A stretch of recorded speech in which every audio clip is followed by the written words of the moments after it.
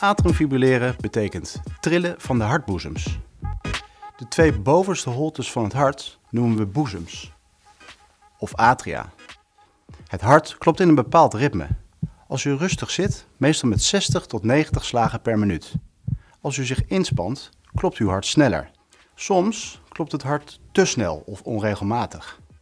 Dan kan er sprake zijn van een hartritmestoornis. Atriumfibrilleren is zo'n hartritmestoornis. Bij atriumfibrilleren klopt het hart onregelmatig en meestal sneller.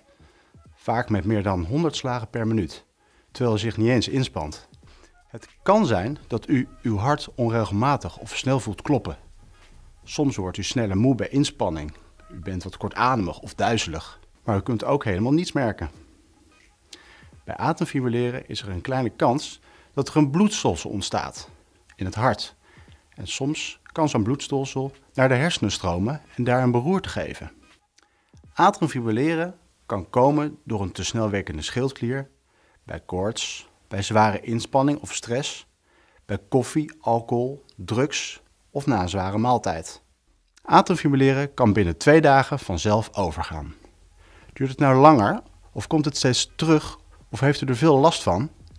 Dan krijgt u bloedverdunners en medicijnen waardoor het hart minder snel klopt.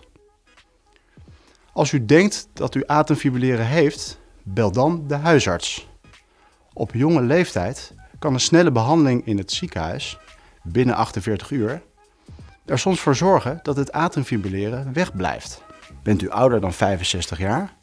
Dan bekijkt uw huisarts of onderzoek en behandeling nodig is. Vaak gaan klachten binnen twee dagen over.